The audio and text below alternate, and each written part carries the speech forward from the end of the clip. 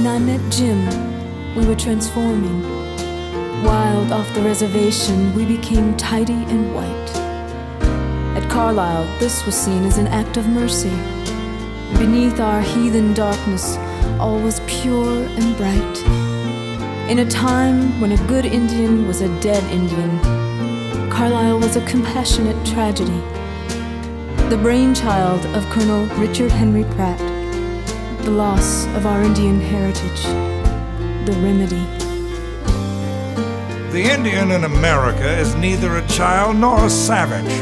He is neither innately noble nor innately depraved. Now, given equal social conditioning, the Indian will prosper in white America. Even then, Jim showed his defiant nature. I would visit him often in the guardhouse. His fighting spirit made him a favorite with the other Indian boys. And I fell in love with him at once. It's not enough, I need you so much. It's not enough, I have to dream of you.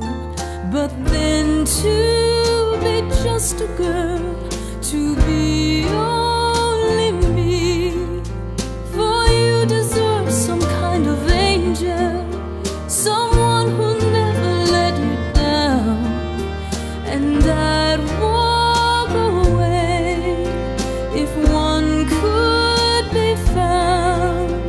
Until then,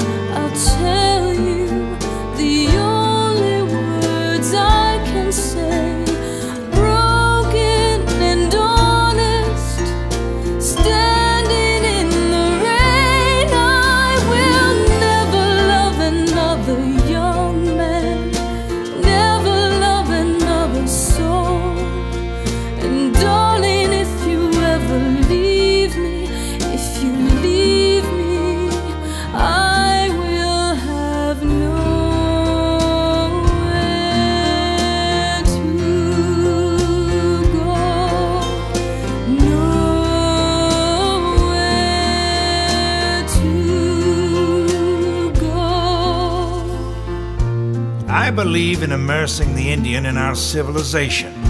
And when we get them under, we will keep them under until they are thoroughly soaked.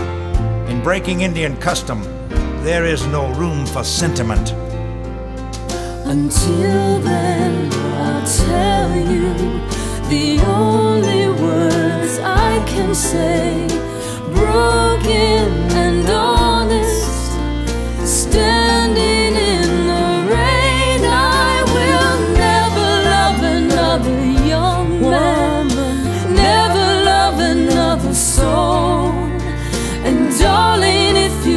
ever